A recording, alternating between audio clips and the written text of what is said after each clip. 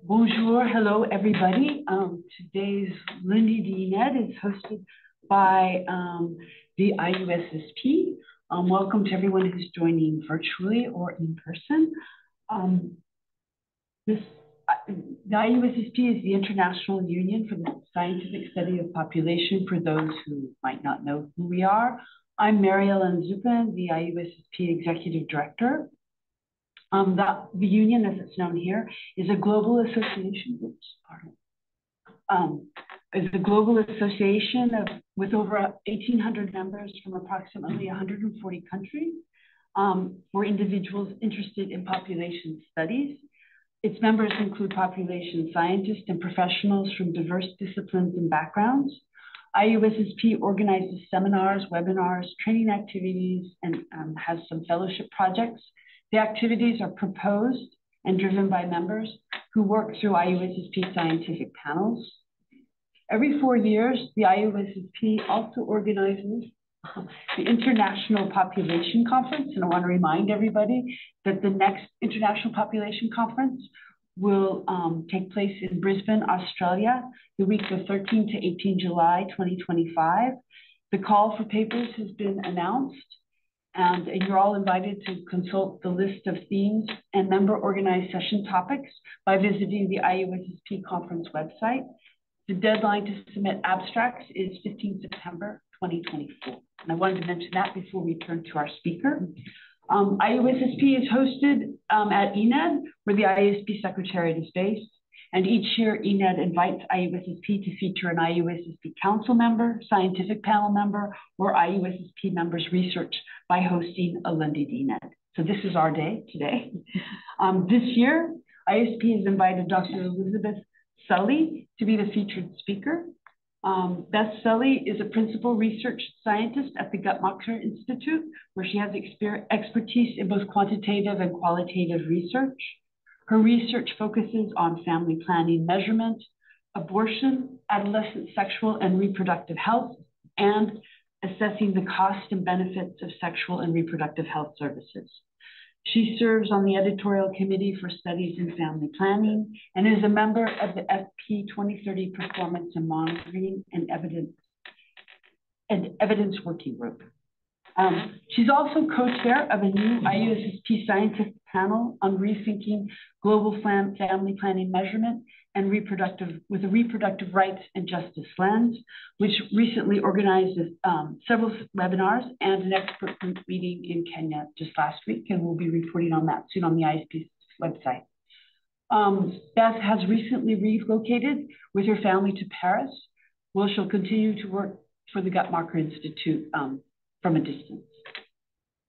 This Blending Lundi d'INED is an opportunity for her to, introduce, to introduce Beth to INED and for her to present new research she and her team at Guttmacher will be conducting on the to assess the impact of the overturn of Roe versus Wade, which allowed made abortion legal in the United States by the U.S. Supreme Court in June of 2020. They're looking at the impact of the overturn of that, um, that legislation on the health of pregnant persons at the state level in the United States, where restrictions on the access to abortion vary widely from state to state.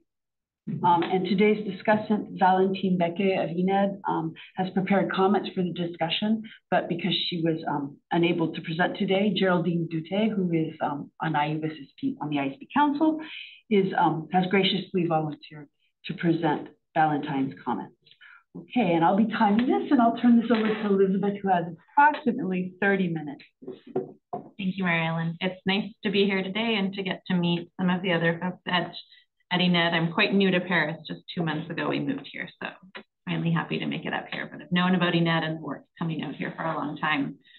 Um, so i am a, a, principal research scientist at the Guttmacher Institute. For those not familiar, the Guttmacher Institute is a leading sexual and reproductive rights organization doing both research and policy work. We're based in the US, and about half of our work is in the US and half is global.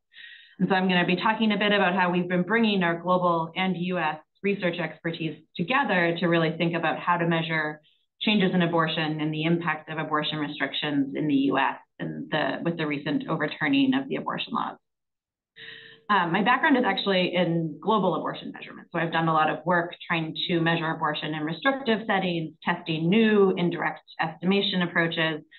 And so this work I'm going to present is me coming together with my colleagues that are US abortion research experts and trying to think about our experiences and lessons learned from both contexts. So this is part of a new study that's funded by the National Institutes of Health in the US. Um, and it's a five-year program of work. We're in year one. So what I'm going to talk about is sort of our plans for what's coming, but also sort of what we're learning in our first pilot year of, of this program of work. And we've got two main aims. One is in the short term to measure the impact of new state abortion restrictions as they come in, to measure what the impact of those restrictions are on the health of pregnant people in the US. And then in the longer term, to set up a new infrastructure for how do we measure abortion incidence going forward. And I'll talk about Guttmacher's history and our role in measuring abortion incidence over time um, and thinking about how to measure abortion incidence in a country that's really bifurcated into some contexts where it is still legal and access is growing, and other where it's extremely restricted and not accessible at all and taking place outside of the formal health system in a lot of ways, and how, how to be able to measure both of those pieces together. So I'm going to talk a little bit about the changing landscape of abortion in the US. I'll give a video, which hopefully gives, a short one minute video, but some background, especially you all probably don't follow state policies in the US very closely. Um, so I'll give a little background on that. And then I'll talk about the work we've been doing, trying to measure abortion within the formal health system after the change in the abortion law in the US, and then measuring abortion outside of the formal health system and how we're thinking about putting those two pieces together going forward. So before I play the video, I'll just mention, so in June of 2022, there was a Supreme Court decision in the US called Dobbs versus Jackson Women's Health, and we call it Dobbs for shorthand. And that was the overturning of the Roe v. Wade decision, which was from 1973, which had set up the legal right to abortion in the US. Dobbs basically removed the federal right and send it back to the state level. And so what that has meant is everything is being decided across states and in different ways. And there's a whole myriad of different types of restrictions at different gestational ages, different regulations on provision of care, as well as states that have tried to improve access to care over this period. So it's been a lot of understanding abortion in the US right now is understanding variation state by state and what's happening. I think for those on Zoom, I don't know if the sound will come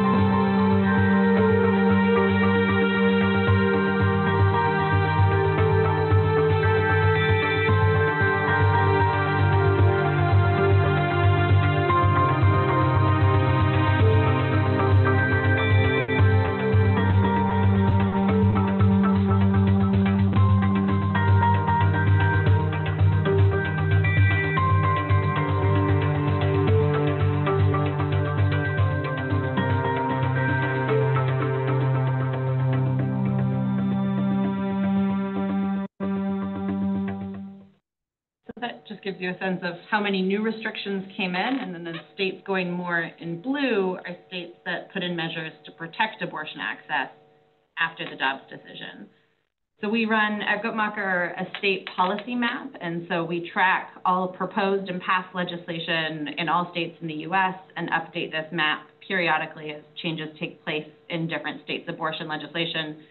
Since the video, which was released nine months ago, Two additional states, South Carolina and Indiana, passed bans, so it's now 15 states that have a ban. And there's one currently held up in the Florida Supreme Court, um, the state Supreme Court. And so we're waiting on a decision since September, any day now, and it's a proposed six week ban. So this gives you a sense of what it looks like in the US right now across states. And I put a little QR code there so you can see sort of the variation by state and what those restrictions look like.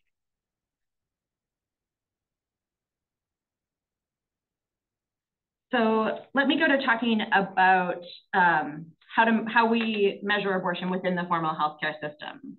So Guttmacher has been measuring the incidence of abortion in the United States for half a century. The first census of abortion providers that Guttmacher conducted was in 1974, the year after Roe v. Wade, when abortion became legal in the US.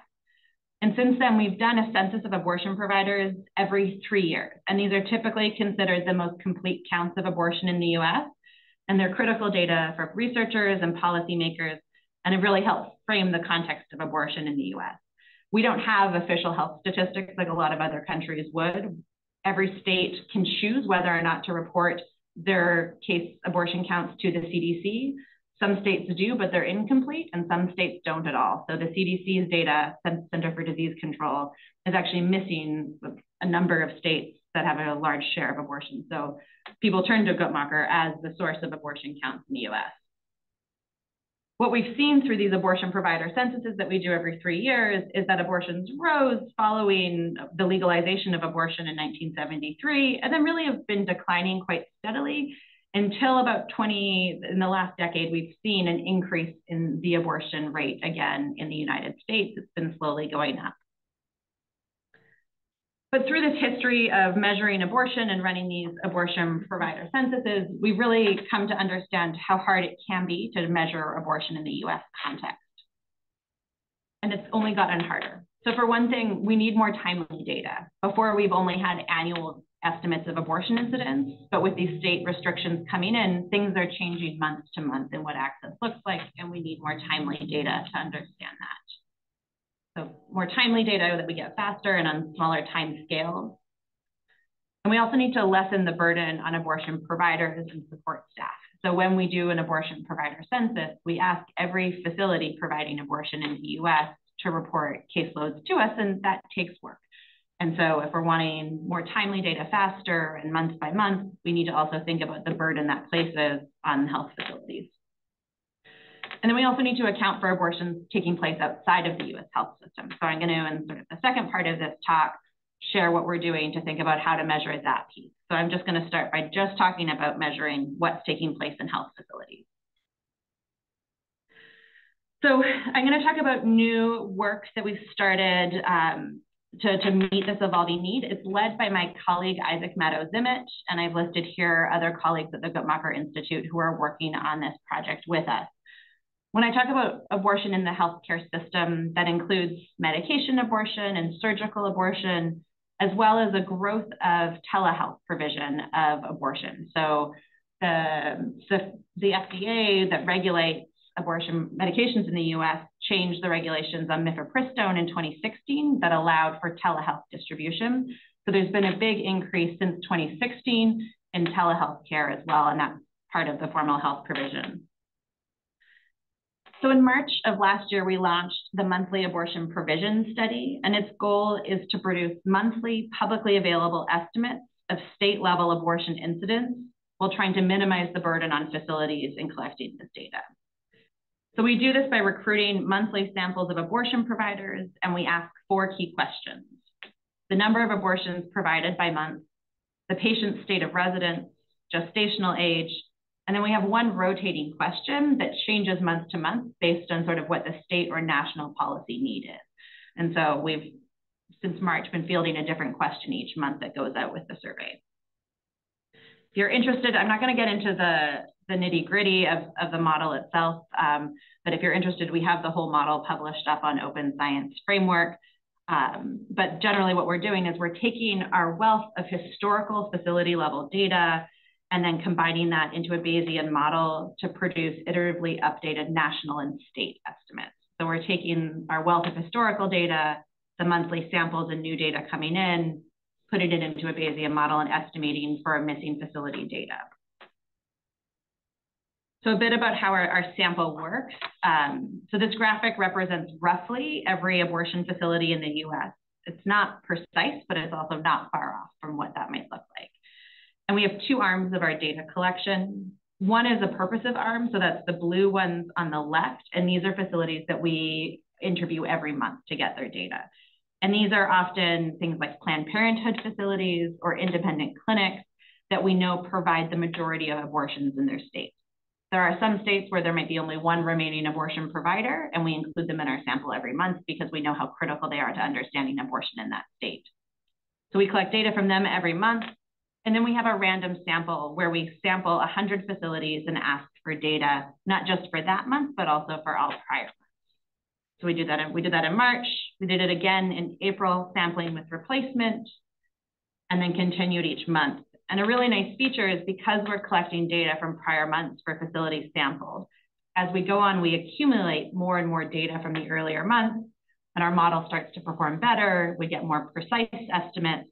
So each month we actually, when we release new data, we also release updated estimates for all of the prior months as well as the model performs better.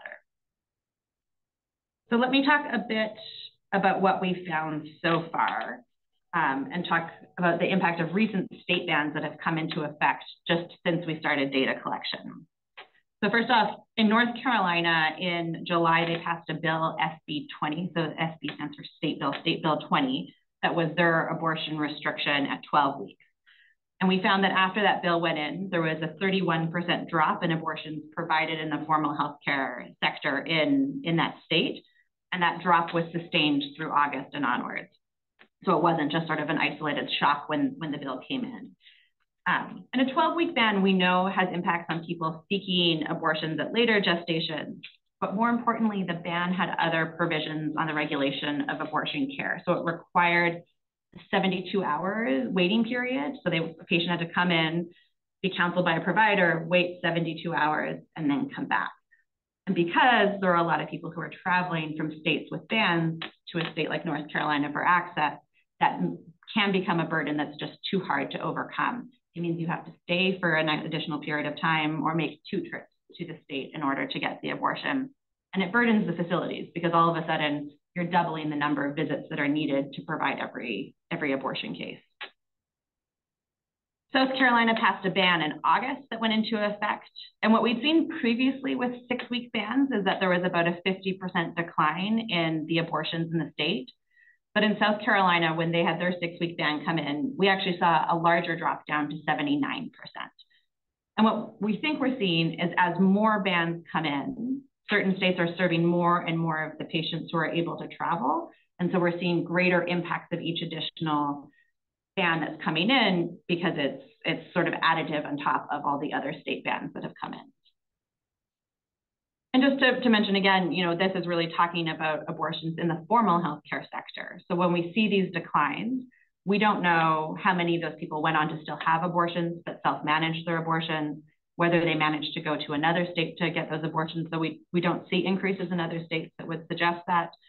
Um, and we don't know how many people were then forced to continue the pregnancy and gave birth. And there's been some work by Dr. Caitlin Myers that showed in states where there are bans, we've seen increases in births as a result after the Dobbs decision. So what we've done is we've taken the first six months of 2023 that we have data for and compared that to a six month period for 2020, the last time that we did this abortion provider census, to see sort of how different are, is what we're seeing in 2023 compared to 2020. And so this graph shows you each little shape is a, state, and blue indicates that they've seen an increase in the number of abortions in the first half of 2023 compared to 2020.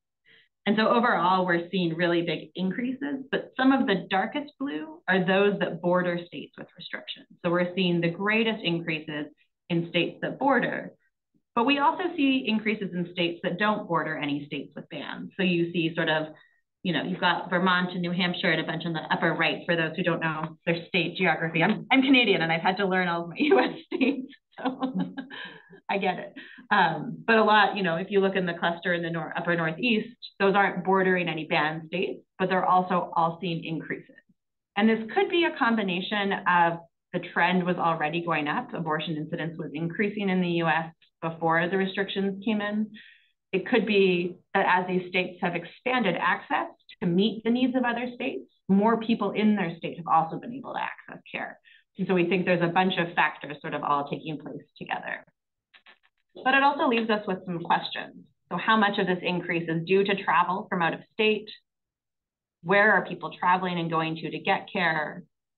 And how has the landscape of travel for care shifted since 2020 when we last had data available on people traveling for care in different states? So I think to answer these questions, just to give a little bit of context, in 2020, we knew that one in 10 people who obtained an abortion in the US traveled across state lines to do so. There were already restrictions in place in states. They weren't bans, but there were restrictions on care. Or sometimes if you lived in a state, it was it took you longer to travel to a clinic in your state than maybe to a clinic in a border state. So travel has already been a part of the abortion care provision in the US for quite a while. And people traveled for, for a variety of reasons, whether it was they were forced to because of restrictions or it was just easier to travel.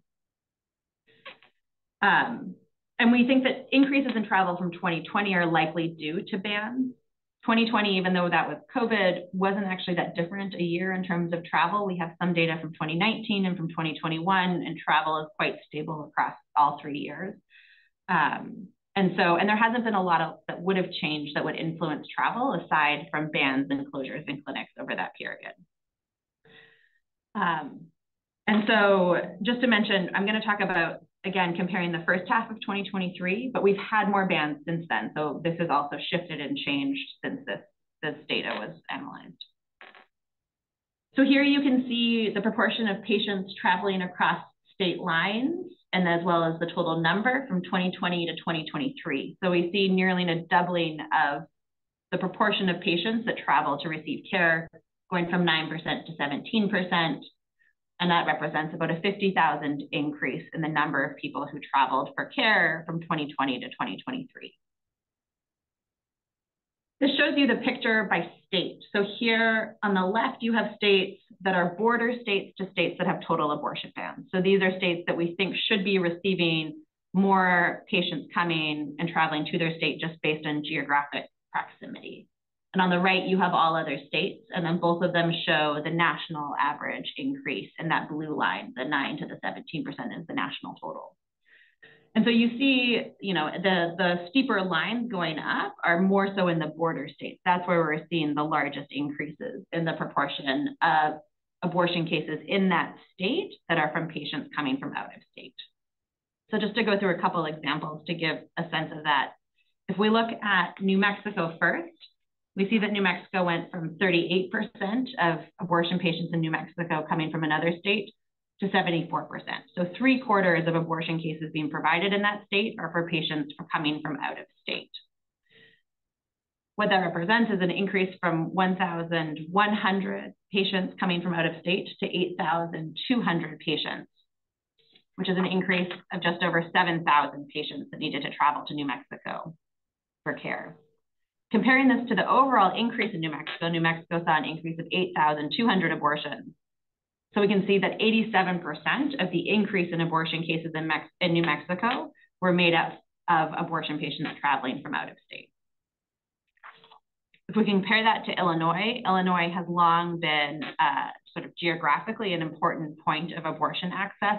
And we see still an increase, a near a doubling from 21 to 42% of abortion patients in Illinois coming from another state. So that's in terms of, of absolute numbers going from 5,600 to 18,900. That's an increase of 13,300 people coming from out of state. If you compare that to the change overall in the state, there was an increase in 18,700 more abortions in 20, first half of 2023 compared to half of 2020. That's about 71% of the increase. And so that tells us, you know, abortion patients traveling from out of state represent a sizable share, but there's still a 30% increase in patients in the state of Illinois getting abortions in that state. So it suggests that maybe this expansion of access, the increase of telehealth, protective laws have also made abortions more accessible to people in states where it's not been banned. So what's next? We're unfortunately, the timing of, of today's talk was a little unfortunate because we have new data that will be for all of 2023 that is embargoed until midnight tonight. And so I wasn't allowed to show it. Um, but I put the QR code, but we're going to release all of incidence rates for all of 2023 that will come out tonight by state of occurrence and state of residence. And we're also going to update the proportion of abortions provided with medication abortion in the US, which is particularly important because there's a case in front of the Supreme Court right now around um, the regulations and approval for mifepristone. And there is concern that access to mifepristone could, um, could be greatly affected by that decision, depending on how the Supreme Court rules. And we know that medication abortions make up a growing and important share of all abortions in the US right now. Um, and then over this next year, we're going to start looking at the gestational duration data and really trying to understand how some of these shifts in increases in patient volumes in states might be impacting the gestational ages at which people obtain care. So let me switch to then talking about how we're thinking about measuring abortion outside of the formal healthcare system. And I'm going to refer to this as self-managed abortion, and I'll define what that is. Um, I just want to acknowledge this is work that I'm doing with co-authors at the Guttmacher Institute, as well as Dr. Aiken and Dr. Scott, who are at the University of Texas at Austin.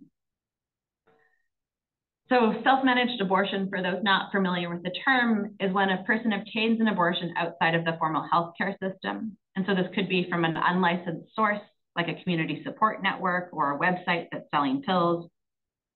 It could also be from an out-of-state medical provider in a state where abortion is banned. And we could talk about this in the Q&A if you're interested, but it's, I think, an evolving and complex legal landscape where some states are passing laws that are were called shield laws to protect the providers in their state, and it's saying they'll protect them for providing abortions to patients in banned states. And so it's raising a lot of questions of legal jurisdiction in the US, um, but it's been a way of trying to expand access and have telemedicine reach people in banned states right now. Um, and people could also self-procure abortion pills, they could cross the border, they might get them through informal networks. So there's a range of ways that might happen. And we can think about self-managed abortion as safe self-managed abortion using mifepristone and misoprostol or misoprostol only, but it also includes less safe methods that someone might choose to use, like plants, herbs, ingesting toxic substances, intrauterine trauma, physical trauma, alcohol and drug abuse, and a range of other sort of what, what we think of when people think of unsafe abortion methods. It's important to note that self-managed medication abortion, so using mifepristone or misoprostol, has been proven to be safe and effective.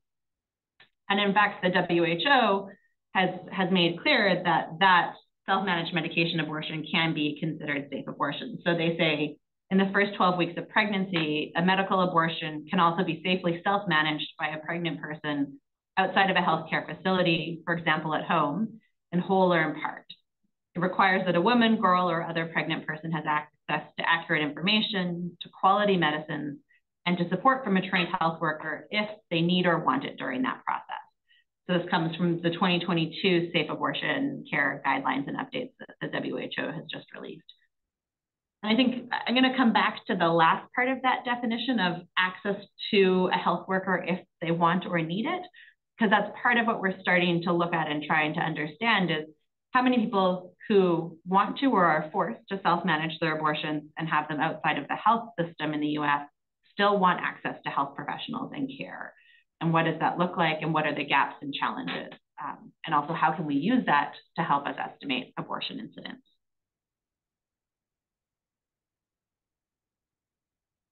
So I'm going to talk about how to estimate self-managed abortion and talk a little bit about some different approaches and then what we're doing to our, our approach that we're going to be taking through this grant over the next five years to try to do that.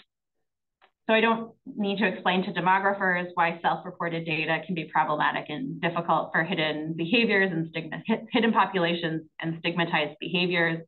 We know that people are reluctant to report it and we're not going to necessarily get reliable estimates through direct surveys.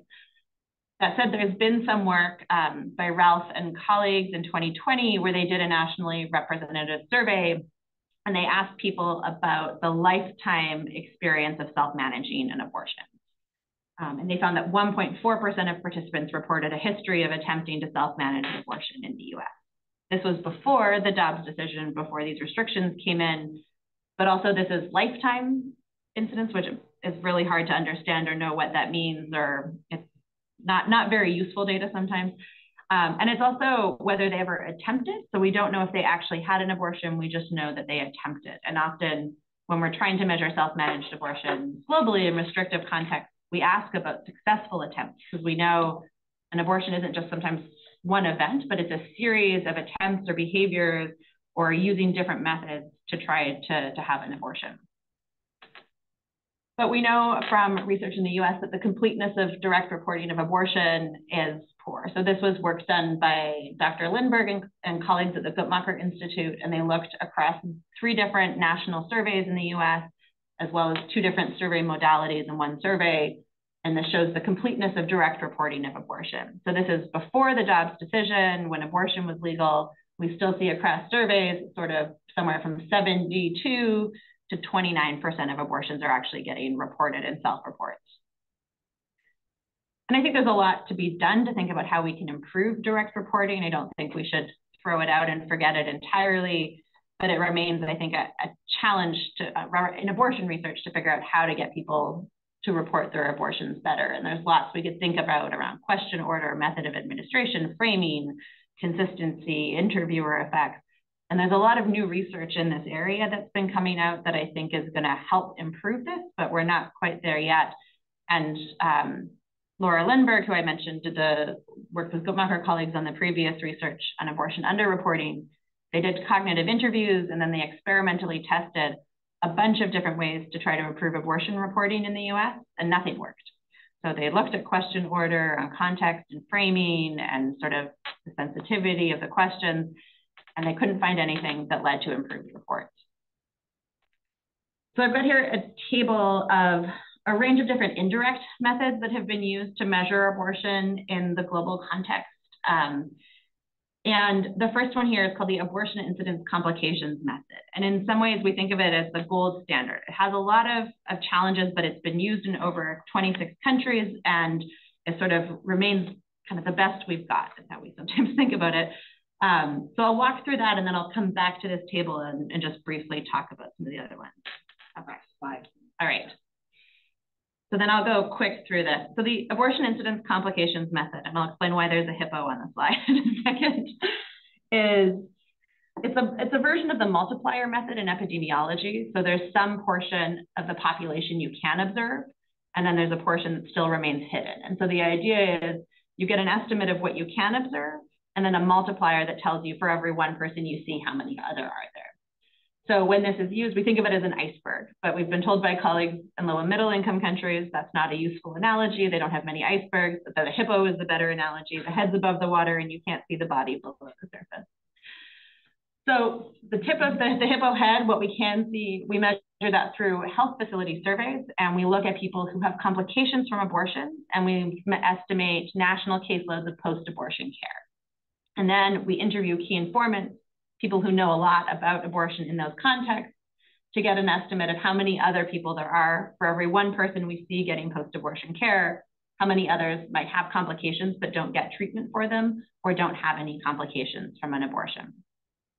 The method, though, has been increasingly criticized in recent years because of growing access to medication abortion. It just means that abortions are more safe, that we're not seeing the same types of complications or levels of complications that we did 20 years ago or 15 years ago or even 10 years ago.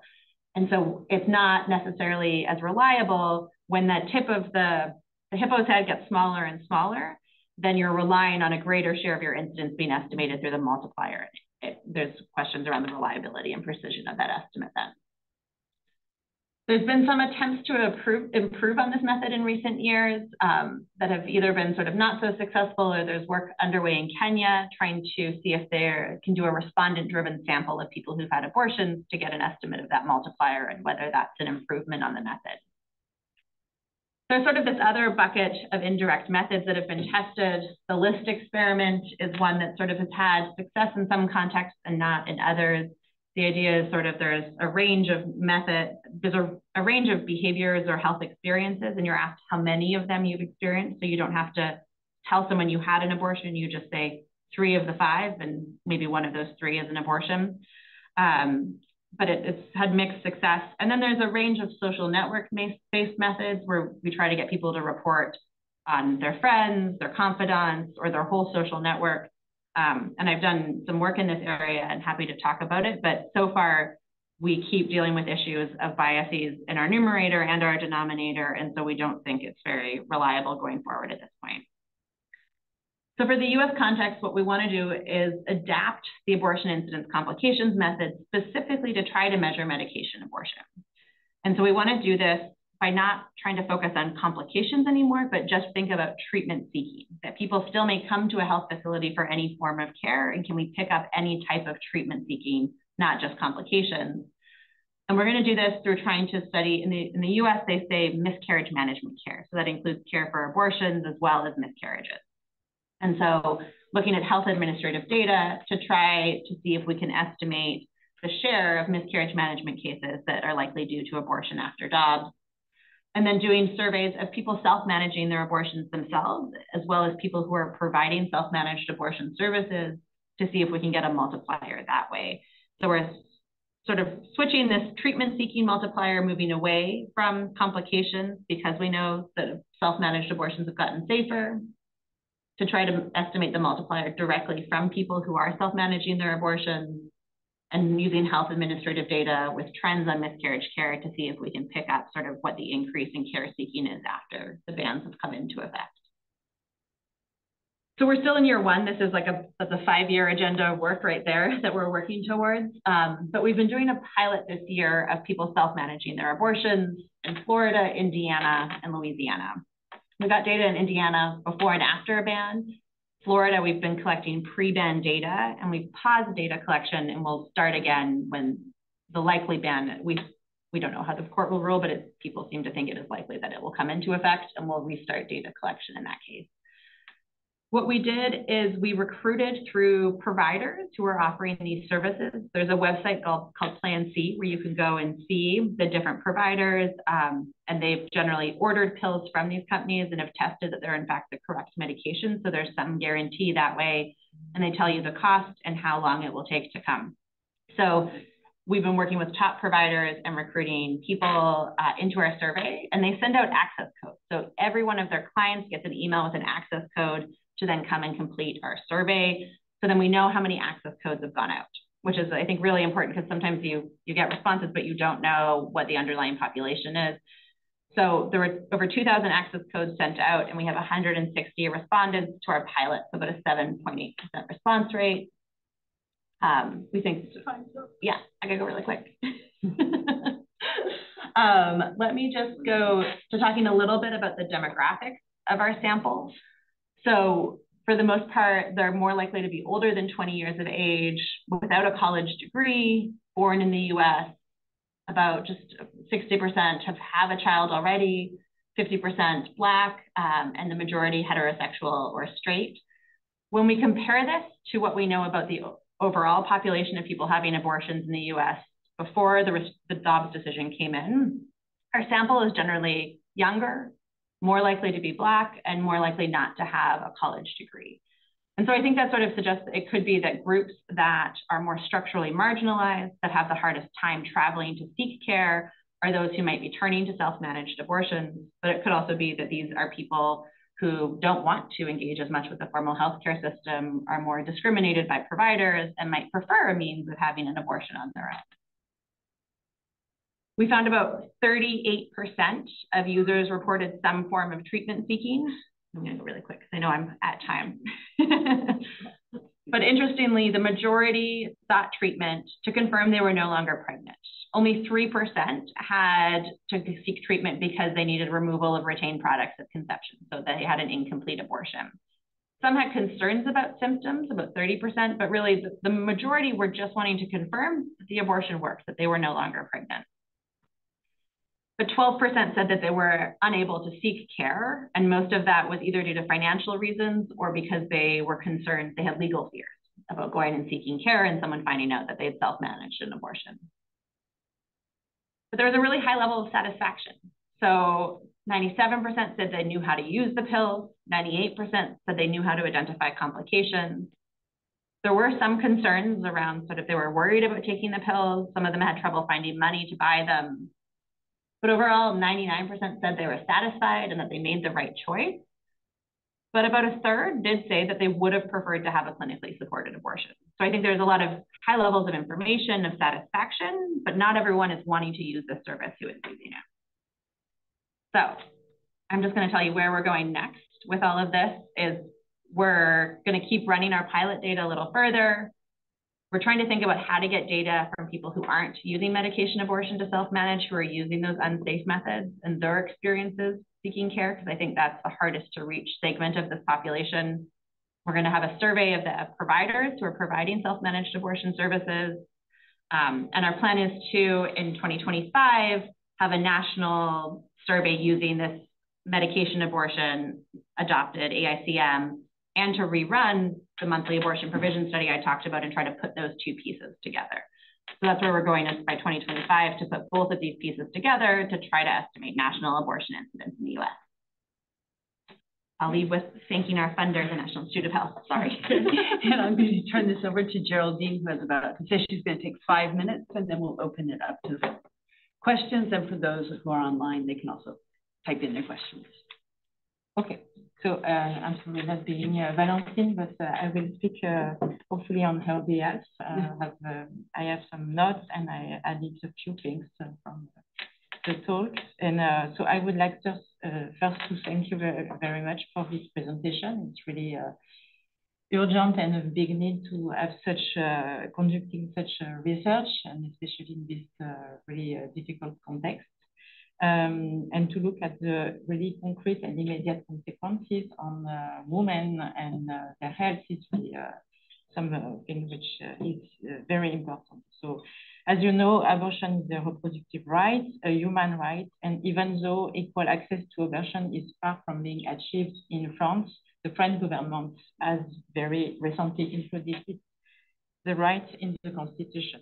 We are really at a different context now, but um, this reminds us that unfortunately progress in the protection of sexual and reproductive uh, rights and women empowerment is never answered. Conservative forces uh, are challenging these reproductive rights. In Europe, for instance, the previous Polish government adopted in October 2020 a law that mostly totally banished abortion, which was already restrictive uh, very uh, since 93. And uh, though we, it looks like the new government will provide more uh, pure accessibility, especially for medication abortion, but uh, we see that never uh, it's never answered.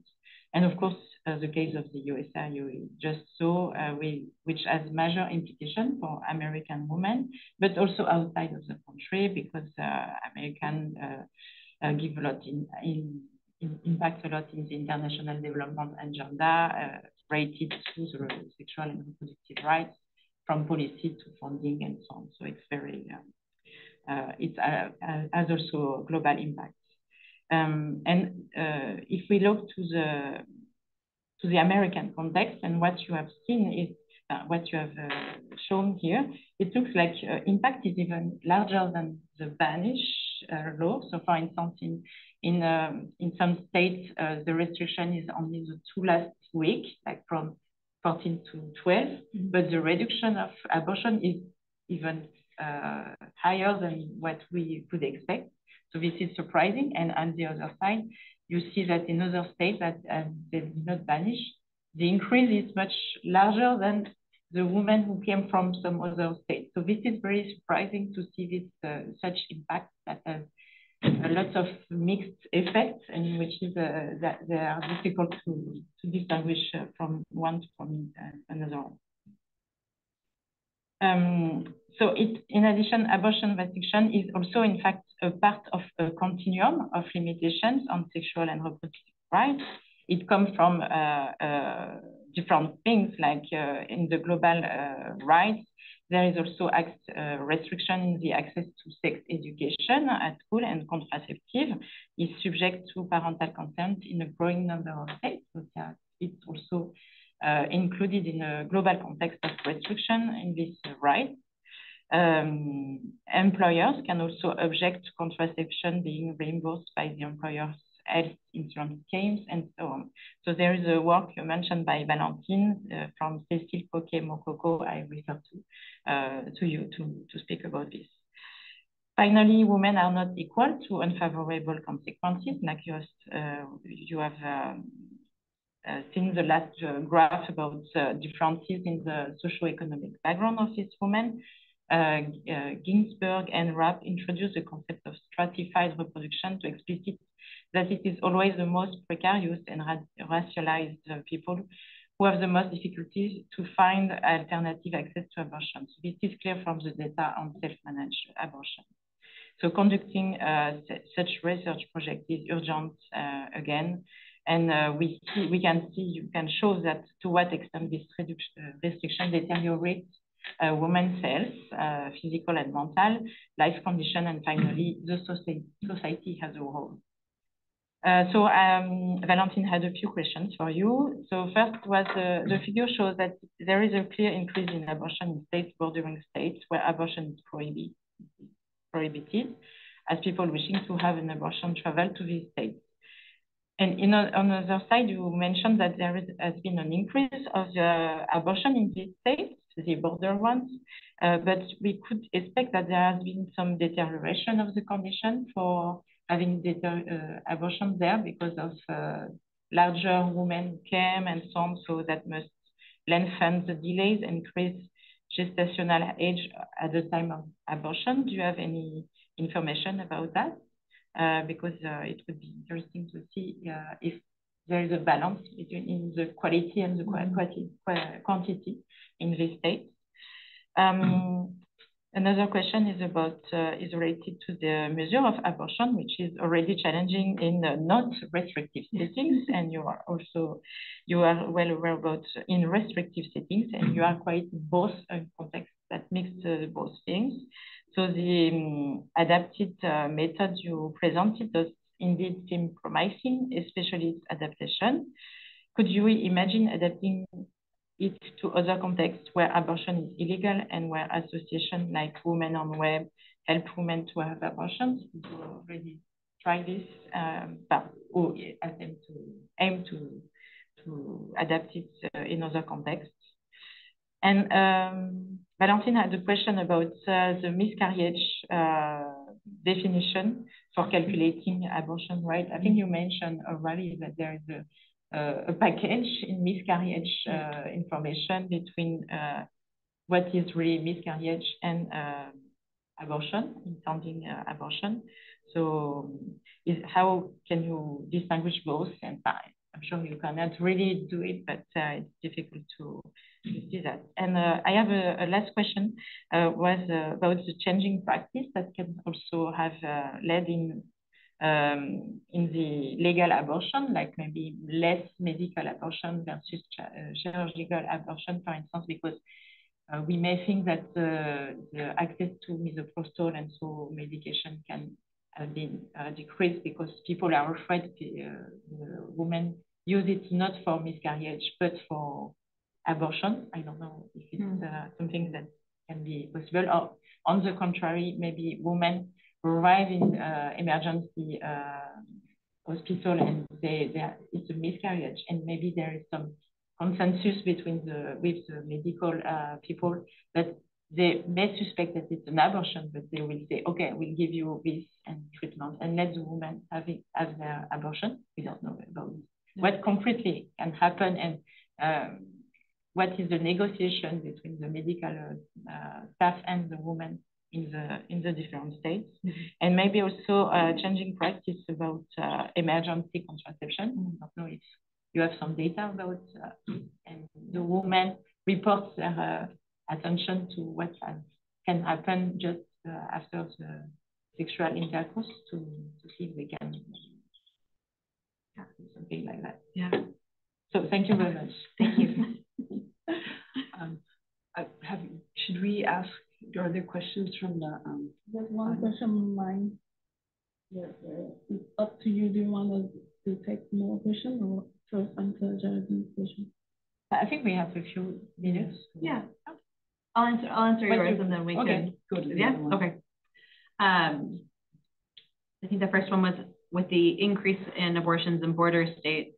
How might that impact quality? So like this quantity quality question we have the gestational age data. We just haven't had a chance to analyze it yet. So we're going to look and see sort of has, you know, how does gestational age shift for people traveling, but also people in a state. So does it take you longer to get an abortion? Because I think some people are going to see this increase in total numbers of abortions. Like they've gone up and everyone thought they were going to go down and that that's a story that means we've been successful in ensuring this right was maintained.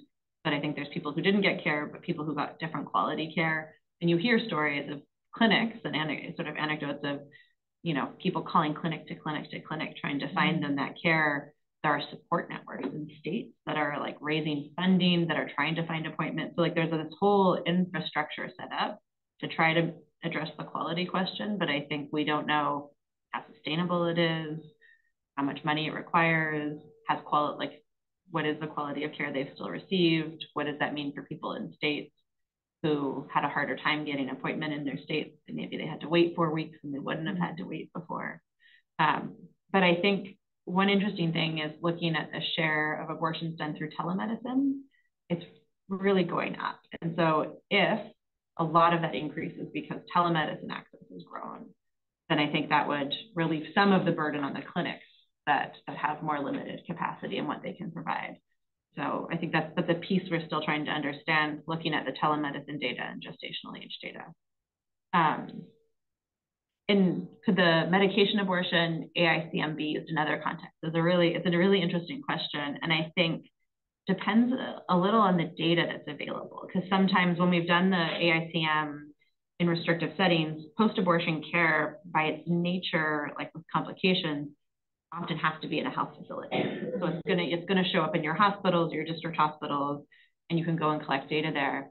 If it's treatment seeking to confirm you're no longer pregnant, it could just be your doctor's office. And it's really hard to get a national sample of physician offices in some countries. So I think it would depend on what data was available on the facilities and the types of providers and where people were seeking care for that type of service. And, and that will vary country by country in the US. So this is where we're really looking at the health administrative data. And about half of people look like they're going to clinics, not private doctors' offices, which helps a lot. And there are more private doctors' offices included in some of the electronic health record data and other data sources that we don't have as much in, in lower income settings. Um, so I think it's we want to explore it, but the facility, just being able to do a comprehensive facility sample will be a challenge. Um, the miscarriage management care piece is one we've thought a lot. Like we use that. It's funny. Globally, people say post-abortion care, and that includes miscarriages and abortion. And in the U.S., they say miscarriage care, and it includes abortion and miscarriages. So we're just using different terms. We should, you should be able to see some miscarriages and abortions using like ICD-10 codes, which would tell you sort of what are like they're supposed to be classified differently. But we think that a provider is going to have different incentives to classify things differently. And so what we're our thought is to take the maximum sort of potential ways that a miscarriage or an abortion could be coded and then look at that trend data and try to pick up the increase in that because there's going to be so much misclassification of cases to protect patients who come in that they think might have had an abortion, but they don't want it to be suspected as such. Um, we're even hearing that like, you know, maybe it's not even going to get classified as one of the, the pregnancy related codes, but it might just show up as vaginal bleeding. And that's what they classify it as. They don't even acknowledge it's the pregnancy related case that's being treated. And so we're thinking sort of all the different ways this could get measured. Um, because I think, yeah, that's going to be a huge, huge part of it. And the emergency contraception piece, we don't have data in this work, but we've got colleagues who focus on family planning in the US and changes in contraceptive need and access. And I'll ask them if they've looked at changes in emergency contraception because they've been looking at how contraceptive need and access has also been impacted by, by the Dobbs decision. You do just uh, my uh, question about, um, you know, if in context uh, there are some negotiations between staff and women? I, I don't know. No, I mean I think um, often the the self-managed abortion providers give people um, a hotline number they can call and they will coach them on what you can say in a health facility to try to make it not seem like an abortion. So I think there's a lot of effort okay. to help people feel like they can safely go to a facility and say that they've had a miscarriage. Um, no. There's one question online from Vidya from Nepal. I'm uncertain why some women may choose not to seek treatment despite